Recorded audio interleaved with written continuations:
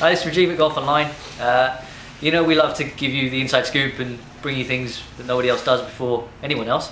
So uh, today we've got the new Cleveland line in, uh, woods, wedges and irons. Uh, I have in my hand the uh, CG1 Tour, which are the blades. Uh, I'm just going to hit a few of them and uh, give you a bit of a taster.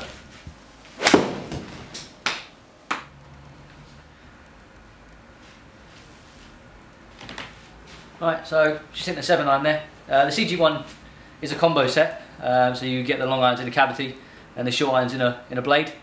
Uh, my first reactions are very, very good irons. You say, as a blade, it's not going to be the easiest to hit, so it really is aimed at your better golfers, but uh, nice in the hands, you know, good club head, uh, gets through the ball pretty well.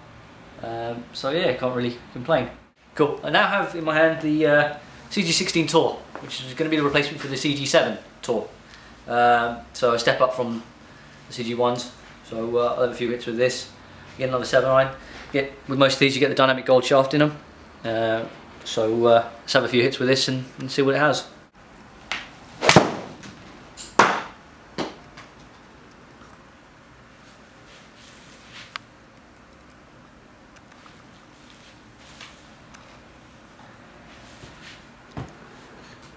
Again, being a, a complete cavity back, uh, it's going to give you a little bit more workability, a little bit more forgiveness in the blades. Um, I personally, I've had one hit with this. I sort of prefer it over the blade. It's going to give me a little bit more to work with. Uh, the black, the black nickel finish is a great finish. Um, sorry, black pearl finish, and uh, just looks great set up to the ball. Cleveland normally their line on irons are very, very good, or have been very, very good. So these just sort of feel straight, sort of, sort of feel pretty nice from from what they used to be, and uh, yeah, another really good feeling iron. Again, uh, probably uh, uh, low mid handicappers probably enjoy this quite a bit.